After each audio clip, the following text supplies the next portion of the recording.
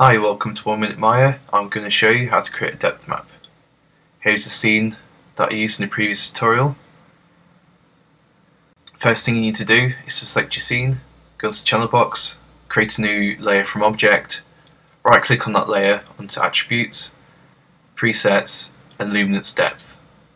You'll notice that when you render it will appear just white like this. I'm going to save an image for comparison later. From this enter the out color of your surface shader node and disconnect the old min and max and change your old max to about 100 just see what happens. As you can see it's starting to look a lot better. All that you need to do to adjust it is to change the old max distance. The higher the value, more depth it will capture. And there we go.